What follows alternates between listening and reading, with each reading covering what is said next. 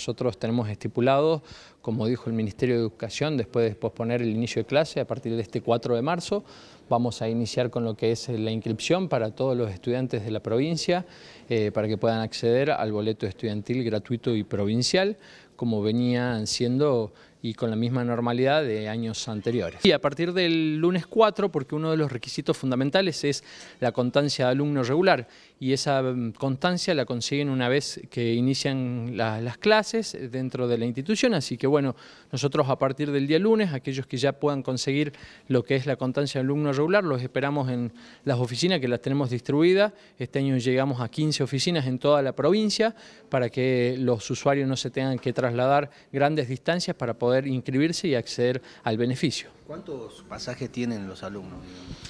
Eso es el, eh, nos vamos a regir con, por el momento, con el mismo sistema que teníamos el año anterior, con lo que le correspondía. Eh, va dependiendo según la fecha en que lo soliciten, no es lo mismo que lo soliciten el primero de cada mes, que lo soliciten el 15, se entiende de que tienen eh, una menor necesidad. Eh, y recordamos que los pasajes tienen un, vencimiento mensual, así que todos los meses tienen que entrar a la plataforma, solicitar los pasajes y por mail le va a llegar los códigos que van a canjear en las empresas. Nosotros hoy, el día de la fecha, podemos decir que el servicio del boleto estudiantil gratuito está garantizado. Lo que pueda llegar a suceder, si esta situación agrava, empeora o